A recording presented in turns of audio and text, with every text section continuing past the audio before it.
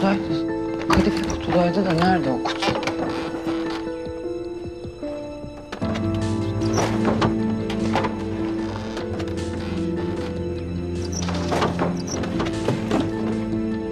İclal giyinmedin mi sen daha?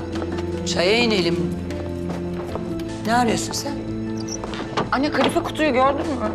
Ne kadife kutusu? İşte buldum. Ay İclal ben de bir şey sandım. Ya ben bunların hepsini hatırlıyorum. Ben bunları nasıl çizdiğimi hatırlıyorum ya. Çizerken neler hayal ettiğimi bile hatırlıyorum.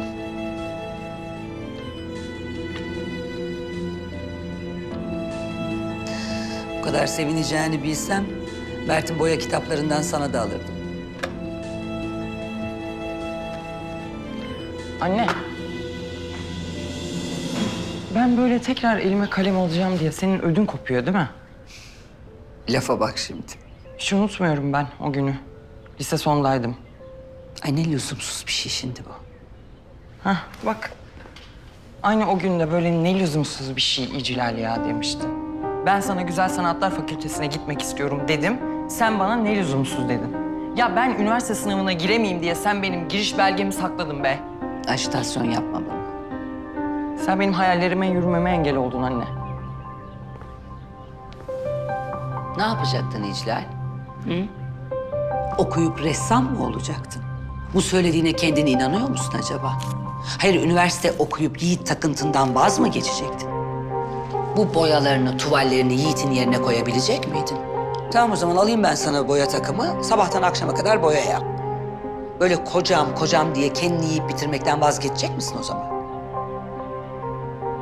Bilemeyeceğim ki. Ben bunu artık hiç bilemeyeceğim.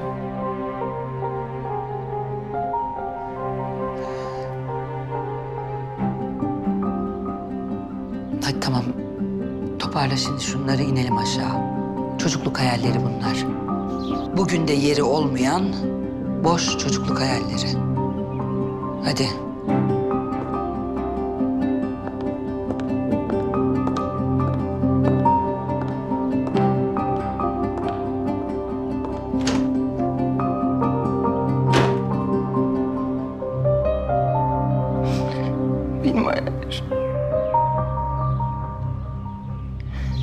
Çocukluk hayallerim.